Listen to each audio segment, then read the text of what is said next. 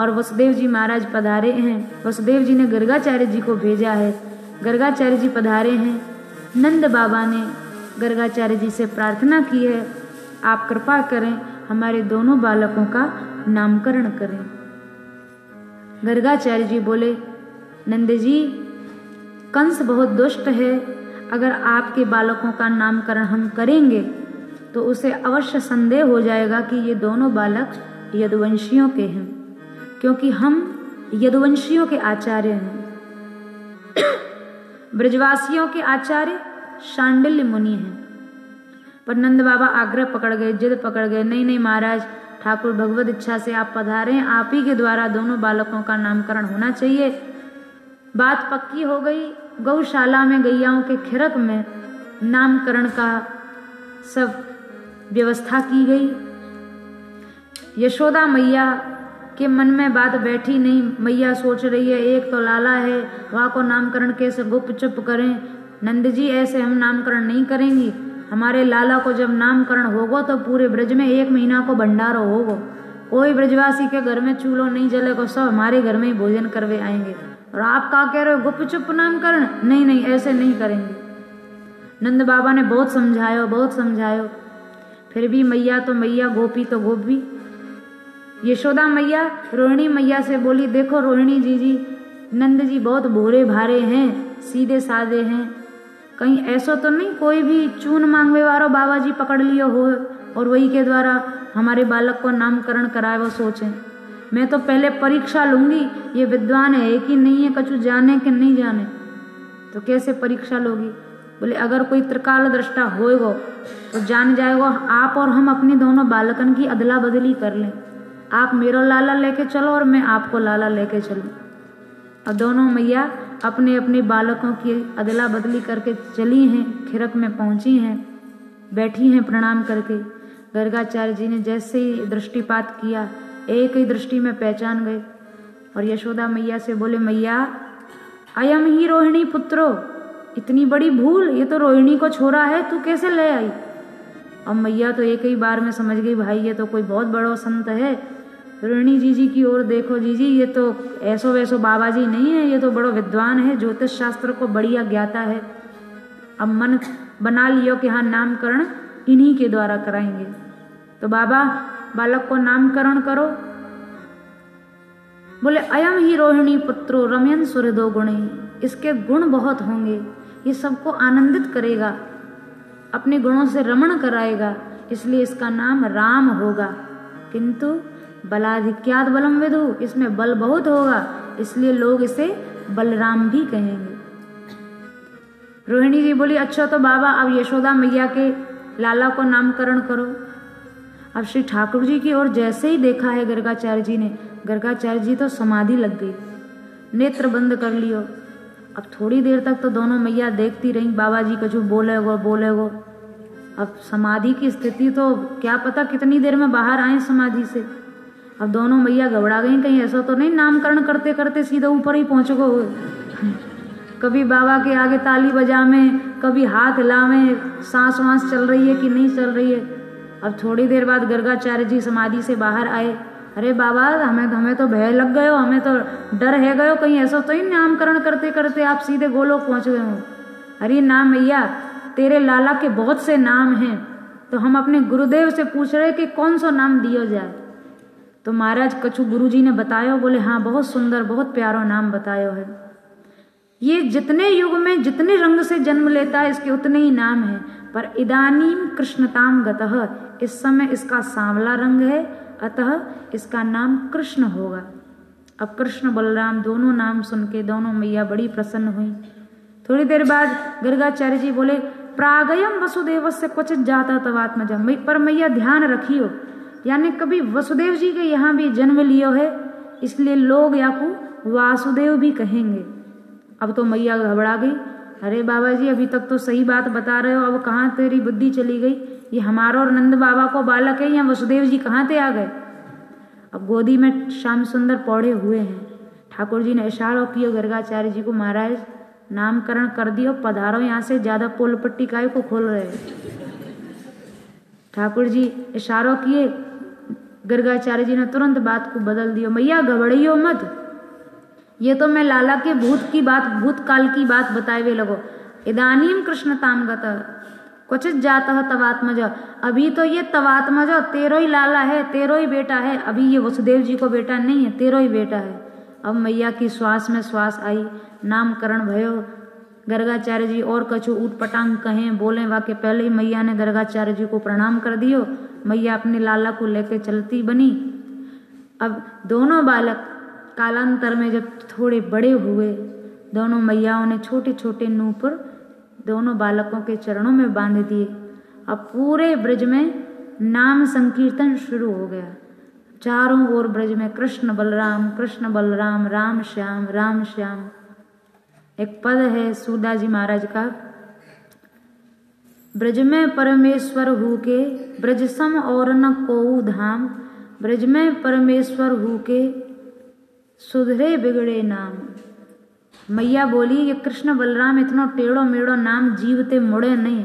हम तो कलुआ बलुआ ही कहेंगे, हम कृष्ण बलराम नहीं कहेंगे। तो जो ब्रजवासियों को जो नाम प्रिय लगे, रुचिकर लगे, वही नाम से श्री ठाकुर जी और दाऊ जी महाराज को पुकारे।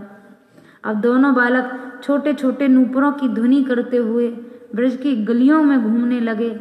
ब्रज करदमेशु, ब्रज की कीचड़ में घूमने लगे। ब्रज में कीचड़ क्या है? गौरज, ब्रजरज और गौमूत्र, इसका सम्मिश्रण ही ब्रज की कीचड़ है। ब्रज की कीचड़ में घूमने का, लेटने का, लगने का सौभाग्य सबको नहीं मिलता है।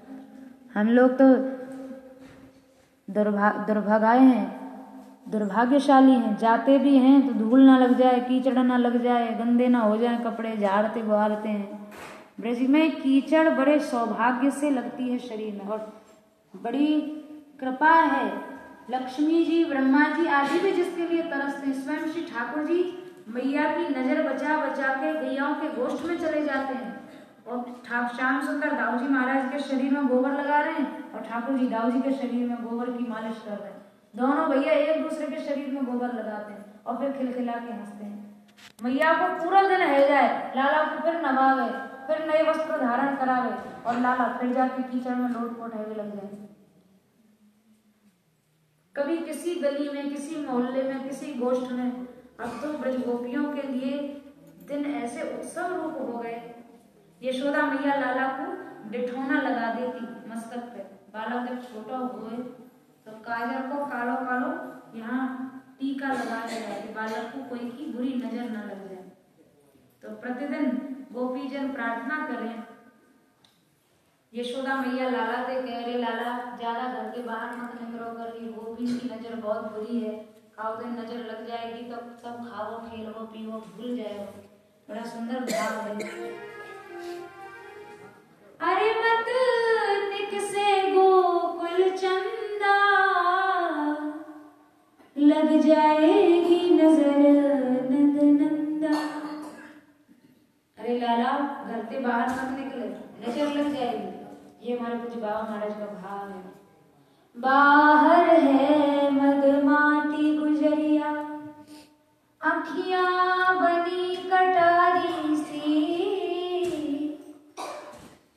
काजल रेख नुकीली पैनी मारे चोट दुधारी सी अरे गोपी की नज़र बड़ी पैनी है, कटार की तरह पैनी इनकी दृष्टि है।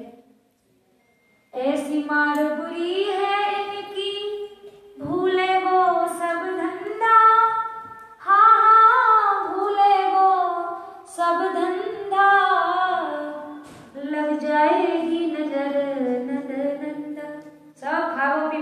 जाओ ज़्यादा बाहर मत निकलेगा।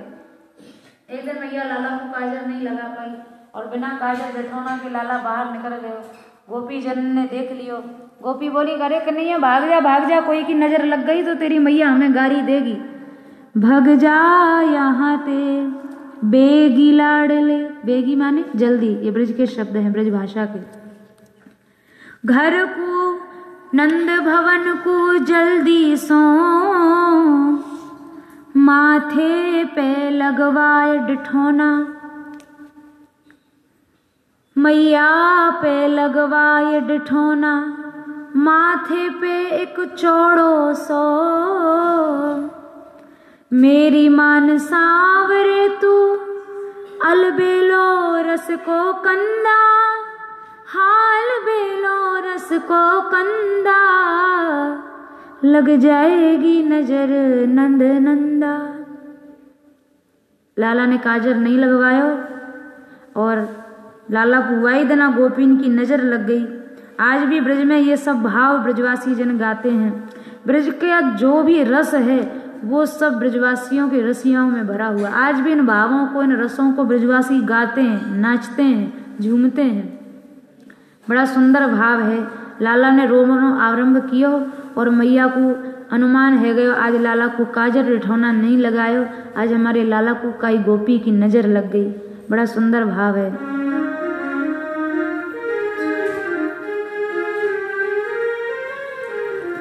कौन सी ने मार दियो री टोना?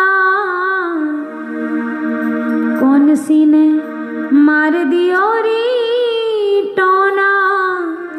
मेरो मचलियो शाम सलोना। कौन सी ने मार दियो री टोना री मेरो मचलियो शाम सलोना। कौन सी ने मार दियो री टोना अरी मेरो मचलियो शाम सलोना। कौन सी ने मार दियो मचलो शाम सलो गई मैंने दियो नया के माथे बीच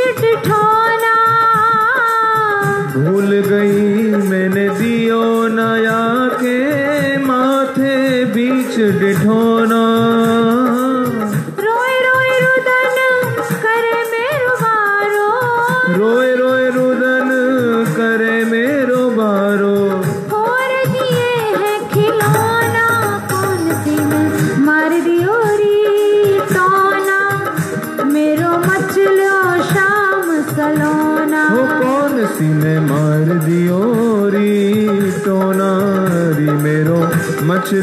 मचलो शाम सलोना।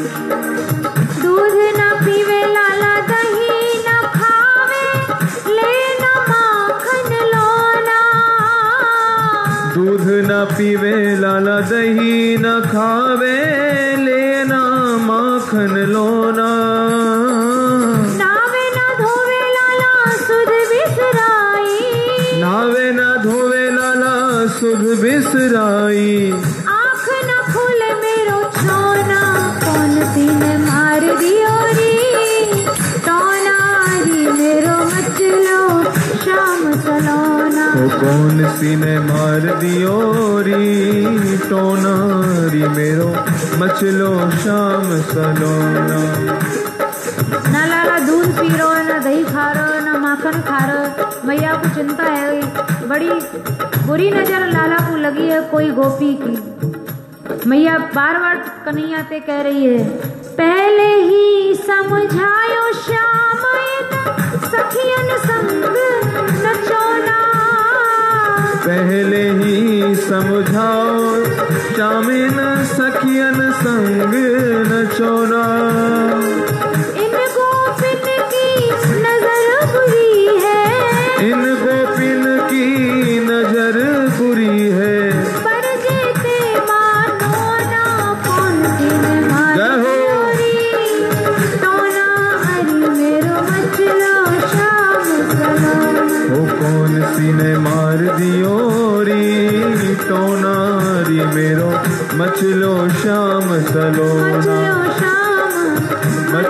शाम सलोना।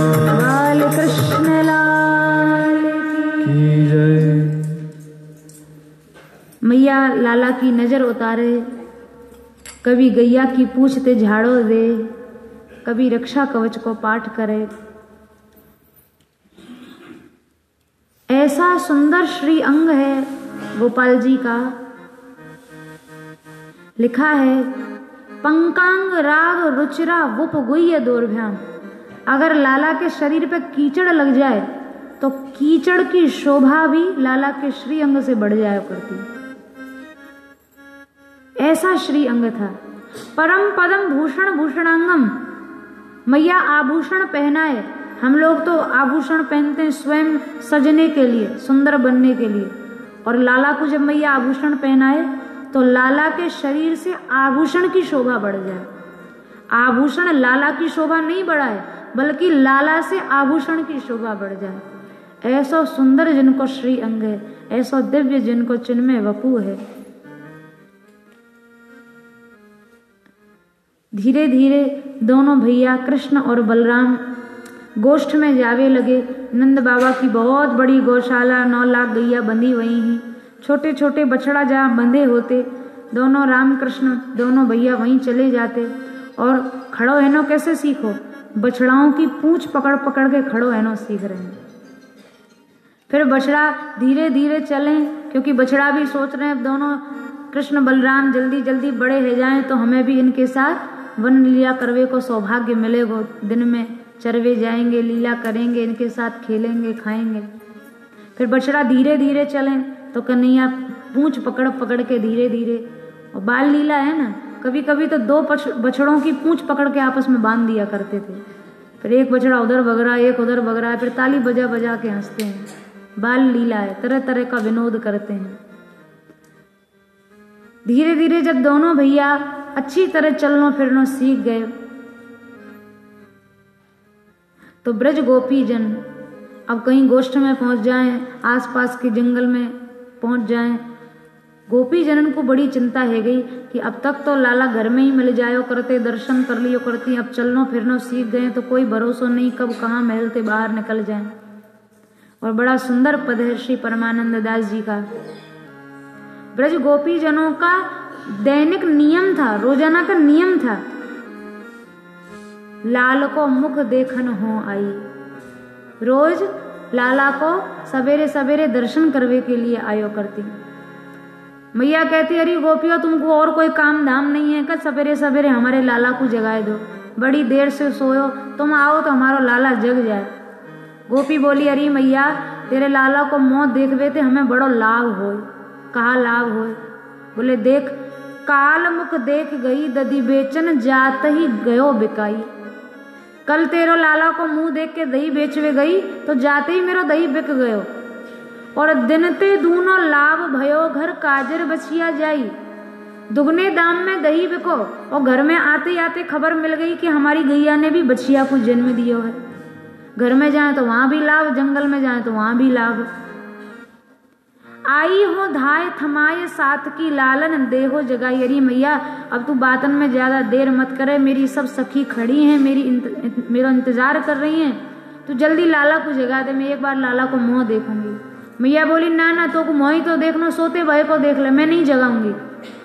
पर ठाकुर जी तो अंतर्यामी है ना। सुनता ही बच्चन बेहस उठी बैठे नागर निकट बुलाई। भीतर घर में से श्याम सुंदर बोले मैया मैं तो जगो ही भया हूँ गोपी को भेज दे। मैं सो ना रहो मैं तो जगो ही भयो। तो गोपी भीतर गई और परमानंद सयानी ग्वालिन सैन संकेत बताई। अब दर्शन ही करना तो सोते हुए को भी कर सकती, पर दर्शन नहीं, वहाँ कोई दूसरा चक्कर हो। अब मैया के सामने गोपी कछु बोलेगी थोड़ी। दही बेचवे को तो बहानो है। मुख्य लक्ष्य तो दही बेचवे के बहाने जंगल में लाला को दर्शन करवो है। अब मैया के सामने गोपी कैसे पूछे कि आज कहाँ दही, आज कहाँ बछड़ा चराए जाओगे? तो श्याम सुंदर को दर्शन करवे आई है और ठाकुर जी नेत्रों के इशारे से ही बता रहे हैं, बाई ओर जाना है तो बाई भ्रकुटी को नचा देते हैं, आँख से इशारा कर देते हैं, आज इधर बछड़ा चरावे जाएँगे। गोपी समझ जाए वहीं दही बेचवे जाए। अगर या दशा में जानो है तो ठाकुर जी दाई नेत्र के संकेत से बता देंगे। आज यहाँ हम बछड़ा चरावे जाएँगे तो गोपी वहीं दही बेचवे जाए। परमानंद सयानी ग्वालन सैन संकेत बताई। गोपी भी सैन में बता दे, कन्हैया, आज वहाँ जइयो बछड़ा चरावे आज अंजन वन में जइयो, आज खायरे में जइयो, आज कोकिला वन में जइयो। तो सैन संकेत में ही सब लीला हो जाती। है बोलने बोलने की ज़रूरत नहीं है। नेत्रों के इशारे में ही सब बातें हो जाती हैं। पर अब जब लाला चलना फिरना सीख गए, गोपी जन सोच रही है, अब लाला को कैसे हमें दर्शन मिले वो? श्री ठाकुर जी ने गोपियों की इच्छा पूर्ण करने के लिए बड़ी सुंदर लीला की है और उस लीला का नाम है चौर्य लीला, चौरी लीला। आज लाला ने चोरी बालक कहाँ ते करवो सीखे? अपने घर में ही तो चोरी करना सीखे हो अपने घर में चोरी करी। और जब चोरी करी तो मैया ने जान लियो कन्हैया चोरी कर रहे हो। मैया ने लाला को आवाज़ दी, कृष्ण, क्वासी, कन्हैया, तू कहाँ है? करोशी किम कहा कर रहे हो? है श्याम सुंदर कछु नहीं बोले। मैया ने गारी दी, अरे पितृति अरे मेरे बाप, बोल तो सही, कहा कर रहे हो? श्रुत्व मातुर वचह मैया की बात को सुन के साशंकम नवनीत चौर्य विरतो विश्रम्य ताम अब्रवीत सशंकित होके श्याम सुंदर इधर उधर देख रहे हैं। अरे मैया, आ गई मैया को। पतो लग गयो तो श्री ठाकुर जी ने, माता कंकण पद्म राग महसा पाणिर मया तप्यते। बड़ो अच्छो बहानो बनायो। बोलवे में भी बड़े चतुर हैं। मैया चोरी नहीं कर रहे हो। अपने घर में काय बात की चोरी? तो लाला छुपके छुपके दही की मथनिया में काय को हाथ डारे भय? मैया तू नहीं जाने। तेने मोह को ये सोने के कड़ूला पहरा रखे हैं। जब हम जंगल में जाएँ, ग्वाल बालन के संग खेलें, और जब दोपहर है जाए तो सूर्य की किरण इनके ऊपर पड़े तो ये बड़े गर्म है जाए। तो मैया हाथ में बहुत जलन होए। कल में लौट रहे हो तो मुझ को एक बहुत अच्छे आयुर्वेद के चिकित्सक मिल गए, वैद्य जी मिल गए।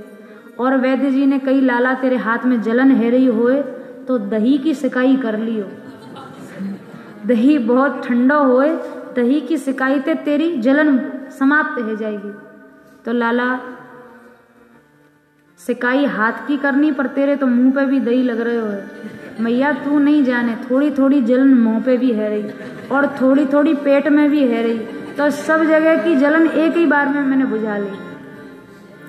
मैया लाला की बात सुन के अब तो चौंक पड़ी, ये छोटो सो छोरा कैसी कैसी बात बनावे। मैया कुछ समझ में आ गए हो कि ये लाला हमारा जो है, या कुछ सुबह सुबह भूख लगे, अपने हाथ ही खवा दूँगी तो काय कुछ चोरी करे वो। अब अगले दिन ते मैया ने तो बड़ी तैयारी कर ली, जोरदार तैयारी, माखन के साथ साथ सब तरह के विविध व्यंजन, पकवान, मिष्ठान पर बड़ा सुंदर सुविधा जी का पद है पद है मैयारी मोहे माखन भावे। जो मेवा पकवान कहत तू तामे रुचि नहीं आवे। तू पकवान बनावे, मिठाई बनावे, वो मुझको अच्छो नहीं लगे। मैयारी मोहे माखन भावे। मुझको तो माखन ही अच्छो लगे और मुझको कछु मत तू दियो कर। बड़ा सुंदर एक भजन है जो आप सभी उसको जानते हैं और हमें भी बहुत अच्छा लगता है। और यहाँ पे उस भजन को ज़्यादातर अधिकांश सब समझने वाले लोग बैठे हैं, इसलिए इसको गाएँगे। बड़ा सुंदर भजन है।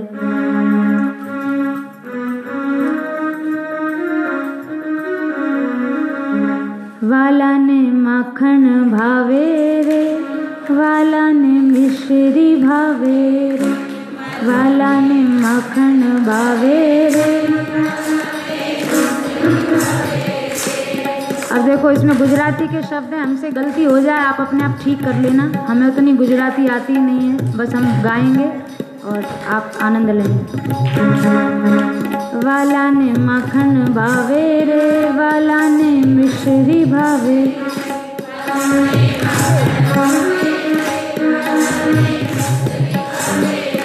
वाला ने माखन भावे रे वाला ने मिश्री भावे रे।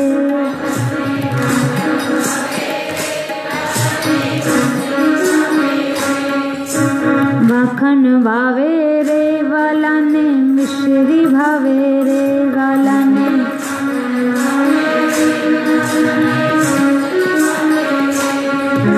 घरी धराऊं घुंघरा धरूं धरूं से घरी धराऊं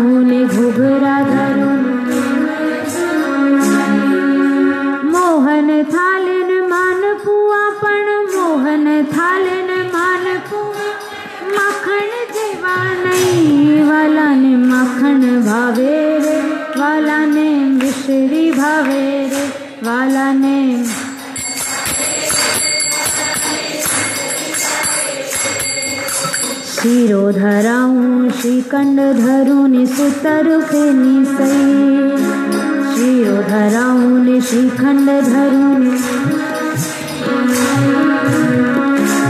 ऊपर ताज़ा घी धरू, पण ऊपर ताज़ा घी धर। मखण जेवा नहीं लालन मखण भावे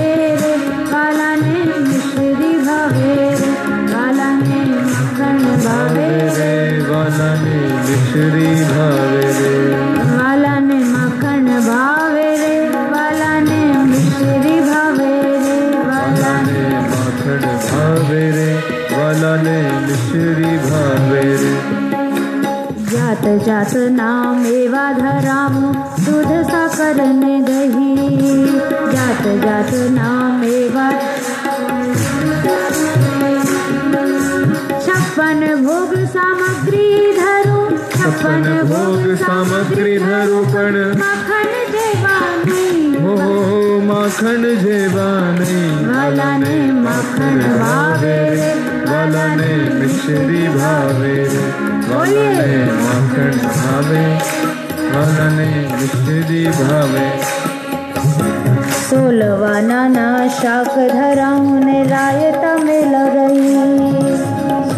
वर्णना शाक धराऊं निगाय ये सोलह वर्णना का क्या मतलब होता है सोलह प्रकार के बहुत प्रकार के सोलह वर्णना शाक धराऊं निराय तमें लूरे सोलह शाक धराऊं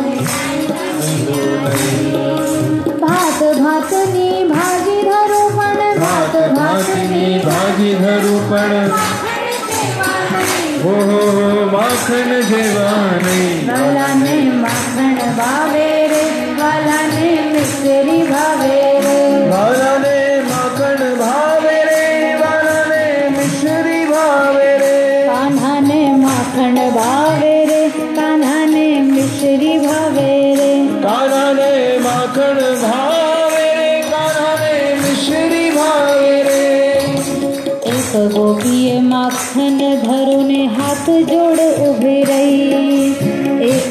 पिए माखन भर हाथ जोड़ उबरे दीनानाथ रिजा प्यारे दीनानाथ रिजा प्यारे। दीनानाथ रिजा प्यारे।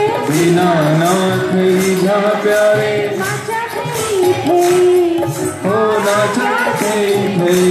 भोला ने माखन मार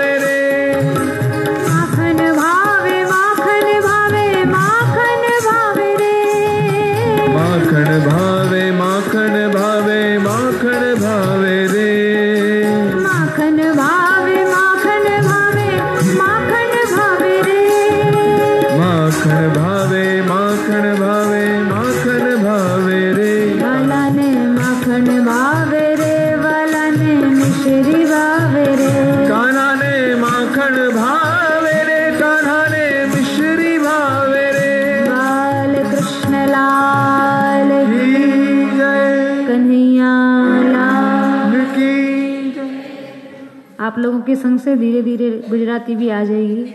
और मीठी भाषा तो है ही। गुजराती वैष्णवों के तो सब भोजनों में भी मीठा मीठा होता है। इसलिए ऊपर से नीचे तक सब बड़ा मधुर है। तो माखन ये महापुरुषों के भाव हैं। परमानंदा जी सूरदास जी, सभी महापुरुषों ने गाया है। मैया री मुह माखन भावे। जो मेवा पकवान कहत तू तामे रुचि नहीं आवे। मैया मुहे माखन भावे माखन अच्छा लगता है। गौरस से बहुत प्रेम है। दूध है, दही है, घृत है, छाछ है, नवनीत है। ठाकुर जी को गौरस बहुत प्रिय है। गाय प्रिय हैं तो गायों का सब कुछ, गौरस सब बहुत प्रिय है। गोबर गौमूत्र में लेटना भी अच्छा लगता है। तो गोपियों के लिए श्याम सुंदर चोर बने, उनके लिए चोरी करी। और चोरी करी तो अपने घर से ही चोरी करी। अब जब से कन्हैया ने चोरी करी, गोपीजन सोच रही हैं, लाला चोरी करवे, आवे, हमारे घर में आवे। अब पूरे ब्रज में सूरदास जी का एक पद है, ब्रज घर घर प्रगटी ये बात। जिस दिन श्याम सुंदर ने चोरी करी है, पूरे ब्रज के घर घर में उत्सव मनाया गया। हमारा लाला चोर बन गयो, चोर बन गयो। अरे तो चोर बनना कोई अच्छी बात है? गोपीजन तो ताली बजा बजा के नाच रही हैं। क्यों? क्योंकि चोर को बुलावे की ज़रूरत नहीं पड़े। अरे, चोर को कोई निमंत्रण देता है क्या कि हमारे घर में आता आना, डकैती डालना, चोरी करना? गोपीजन सोच रही है, अब हमारे कन्हैया को बुलावे की ज़रूरत नहीं, अब बिना बुलाए घर घर में आवे वो। ब्रज घर घर प्रगटी यह बात। ब्रज ब्रज बनिता हर्षित, सुन मन हर्षित, सदन हमारे आवे। गोपीजन ये सोच सोच के प्रसन्न रह रही हैं। कन्हैया हमारे घर आए वो हमारे घर। और हाथ जोड़ जोड़ के, मनोहार कर करके प्रार्थना कर करके चोर को कौन बुलाता है? प्रार्थना करके गोपियाँ बुला रही हैं। हे माखन चोर, कन्हैया, गोपाल जी, आज हमारे घर में चोरी करना। आज हमारे घर में आना, आज हमारे घर में घर को कृतार्थ करना। बड़ा सुंदर भाव है, ब्रजवासी जन गाते हैं। वंशीवारे, तू मेरी गली, आ जा रे वंशीवारे तू मेरी गली।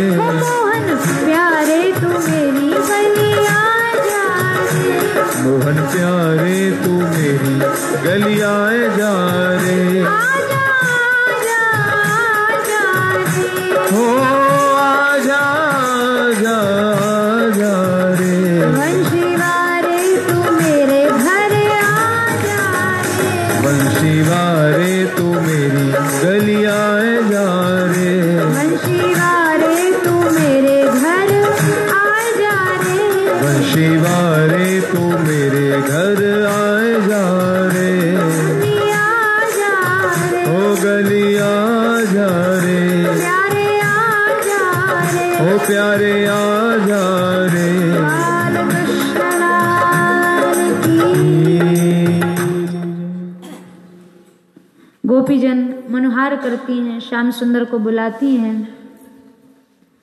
और श्री ठाकुर जी एक बार में अनेकानेक रूप धारण करके एक एक दिन में न जाने के कितने घरों में डकैती पड़ जाती, कितने घरों में चोरी हो जाती। और गोपियों के टोल के टोल शिकायत करने आवे, मैया, हमारे घर ऐसे चोरी करी, हमारे माट फोड़ दिए, हमारे छींके तो उतार दियो हमारे दूध दही को खा गए हमारे घर फैलाए दियो, हमारे घर ऐसा उत्पात कियो। अब मैया सोच में पड़ जाए हमारा छोटा सो लाला। और इतनी गोपिन के घर में कैसे चोरी करे भाई? एक शिकायत करे आवे, दो आवे, तीन आवे तो बात समझी जाए। और सैकड़ों टोल के टोल शिकायत करे हुए आ रहे हैं।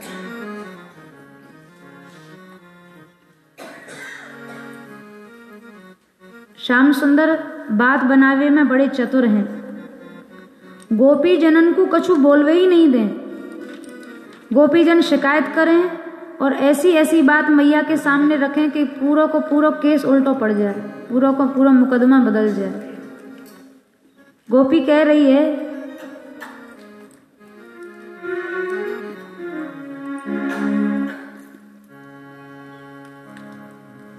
गोपी कह रही है, यशोदा मैया से, आँगन में मटकी छीके से उतार के, कहाँ चले चले शाम, घर को उजाड़ के। ग्वालिन झपट के, पकड़ लियो हाथ है। दही की मटुकिया में काहे डालो हाथ है। गोपी मैया से शिकायत करवे गई, लाला को हाथ पकड़ लियो। देखो री यशोदा मैया तेरो ही कन्हैया मटकी को फोड़ आयो खोले आयो गैया। और अंगूठा दिखावे मोहे ठाड़ो मुस्कात है। चोरी करी हमारी गैया के बछड़ा खोल दिए और अंगूठा दिखा दिखा के और चढ़ा रो ले और कर ले और का करेगी? शिकायत ही तो करेगी। तो श्याम सुंदर से गो, गोपी ने मैया से शिकायत करी मैया ने कही क्यों लाला? ऐसी रिठाई करे, ऐसा उद्दंड काम करे, ऐसा उपद्रव करे। श्याम सुंदर बोले, देख मैया, देखो री यशोदा मैया, मेरो ना कसूर है। हाथ मेरे छोटे छोटे, छीको बड़ो दूर है। मैया, तू ही बता, मैं छोटा सा तेरा लाला। इतना ऊँचा छीको, मेरे छोटे छोटे हाथ। अभी तो मेरा पूरा शरीर को कद ही बड़ा छोटा सा है। मैं कहाँ ते छीके पे पहुँच जाऊँगा? तो फिर घर में जो दूध दही फैलो, वो कौन ने करो? श्याम सुंदर बोले, घर में बिलैया घुसी वाह को उत्पात है। या कि घर में कोई बिल्ली घुस गई होगी और ये मेरा नाम लगा रही है, झूठी है? अब यह बात को सुन के मैया को भी लग गया, भाई छोटा सा लाला, कैसे चोरी करेगा अरे गोपी? तेरे घर में कोई बिल्ली घुस गई होगी वहाँ ने ऐसा कर दिया होगा, भाग जाए यहाँ पे। गोपी तो आँख फाड़ के देखती रह गई, एक ही बात ने सबरों केस उल्टो कर दियो। ऐसी ऐसी लीला ये शाम दिन रात करे। भक्तों के घर तुतला कर बात करे। माखन को चोर कहावे, दीनानाथ है। दही की मटुकिया में काहे डालो हाथ है। माखन को चोर और दीनानाथ दीन बंधु कहला रहा है। घर घर में ये सब लीलाएँ हुई। ब्रज का कोई घर, कोई गाँव ऐसा नहीं बचा जहाँ श्री ठाकुर जी ने लीला न की हो। घर घर लीलाओं से अनुप्राणित है घर घर लीलाओं से चिन्हित है। गोपी जन आ रही है शिकायत करवे, अरी मैया कस्तम बलानुजह त्वमिह किम मम मंदर शंकया? देख, सुन कल्याण ने मेरे घर में कहा कि हो घर में आके चुपचाप चोरी कर रहे हो? मैंने कही, अरे कौन है अरे छोरा? तू कौन है? तो मेरी तरफ़ देखने लगो तू मोकू जाने नहीं। गोपी ने पूछी, कौन है तू? बोले, बलानुज, मैं दाऊ जी को छोटो भैया हूँ। अरे तो सीधो सीधो नाम नहीं बता सके। मैंने तेरे बड़े भैया को नाम नहीं पूछो। तू कौन है? अरे गोपी, तू जाने नहीं, मैं नंद बाबा को छोटो छोरा हूँ। अरे, फिर वही बात। अब मैंने बाप को नाम पूछो, मैं तेरा नाम पूछ रही हूँ, तू कौन है? अरे, गोपी, सबरो ब्रज मोकू दाऊ जी को छोटो भैया कह के ही जाने। क्यों? दाऊ जी जैसे सीधे साधे हैं ना, वैसे ही सीधे साधो मैं भी हूँ। दाऊ जी को नाम और बदनाम कर दे। तो एक बात बता दाऊ जी के छोटे भैया, तू मेरे घर में क्यों आयो तो श्याम सुंदर ऐसे घर की दीवार देख रहे हैं, जैसे पहली बार आए हैं। बोले, अरे गोपी, ये तेरो घर है, मम मंदिर शंक है हरे राम राम, आज तो धोखो है। गो मेरी, मैं तो अपनो घर समझ के आयो तेरे घर की दीवार और मेरे घर की दीवार और तेरो दरवाजो, हमारो दरवाजो एक जैसो ही आज तो बहुत बड़ा धोखो है घर ज्ञातम तन्नवनीत बांडव विवरम हस्तम कथम न्यस्यसी कर्तुम तत्र पिपीलिका पलयनम सुप्ता किमत बोधित। अरे तो कन्हैया, यो बता, अपना घर समझ के आयो तो अपने घर में कोई चोरी नहीं करे। तू चोरी करके क्यों खा रहे हो? चोरी नहीं कर रहे हो? हमारे घर के दही में चेंटी पड़ गई, उनको बीन रहे हो। तो लाला चेंटी हाथ पे गई जाए तेरे मुँह पे दही लगो भयो है श्याम सुंदर बोले तू ना ही जाने एक चेंटी चढ़ते चढ़ते चढ़ते मुँह पे आ गई और मोते चेंटी को हटायो तो दही मुँह पे भी लग गए तो यहाँ में मेरा कौन सा दोष है अब देख ज़्यादा गुस्सा तो करे मत ऐसा समझ ले आज तेने एक ब्राह्मण को घर में भोजन करा दियो अब दक्षिणा दे रही हो तो दे नहीं मैं जाऊँ अच्छा अभी तो दक्षिणा और चाहिए गोपी दौड़ पड़ी कन्हैया को पकड़ ले आज अच्छी सी मैया तो ही दक्षिणा दिलवाऊँगी, तेरी मैया ही दक्षिणा देगी तो वो अच्छी सी डंडा की दक्षिणा। गोपी तो क्रोध में आ गई। और जैसे ही वह गोपी ने श्याम सुंदर को हाथ पकड़ो, और हाथ पकड़ के मन में प्रसन्न भी है रही है कि आज रंगे हाथ लाला को ले जाऊँगी, मैया को दिखाऊँगी, मैया माने नहीं कैसे हमारो लाला चोरी कर सके। आज ले